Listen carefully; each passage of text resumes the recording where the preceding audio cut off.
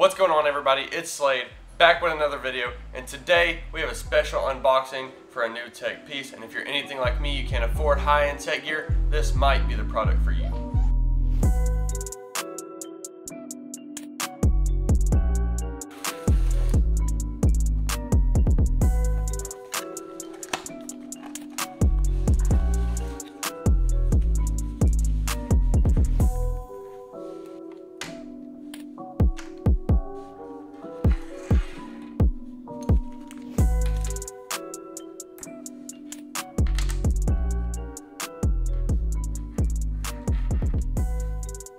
You can position this lavalier mic virtually anywhere on your person.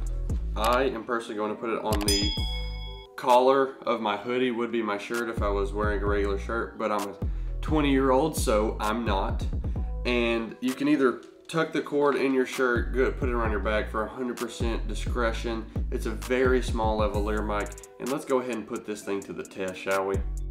All right, so you are now listening to the Slint lapel microphone. This is what it sounds like up close and personal. Let me go ahead and put it on my person, on my collar, and this is what it would sound like as me not holding it.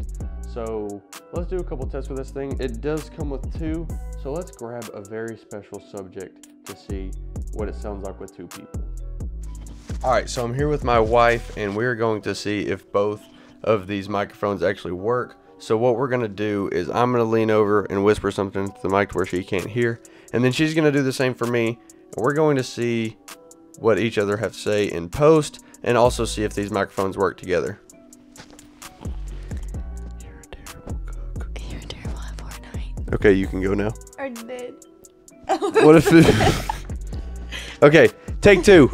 Let me go first.